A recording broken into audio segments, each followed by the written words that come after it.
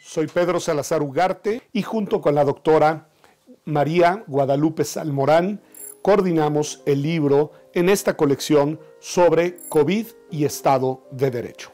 Yo creo que le afectó en dos sentidos. Por un lado, el tema de la garantía, protección, respeto y promoción de los derechos humanos.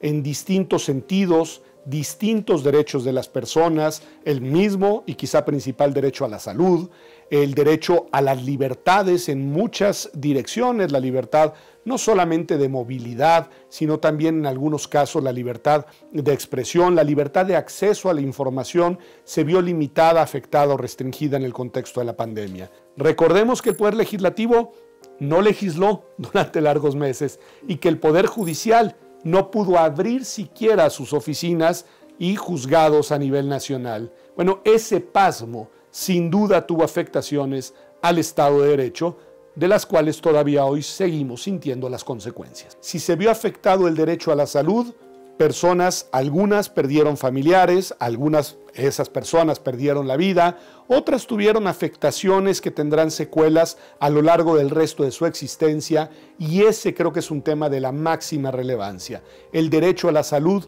no fue debidamente garantizado para miles de personas, quizá millones, y tampoco lo fue de la misma manera para todas y para todos.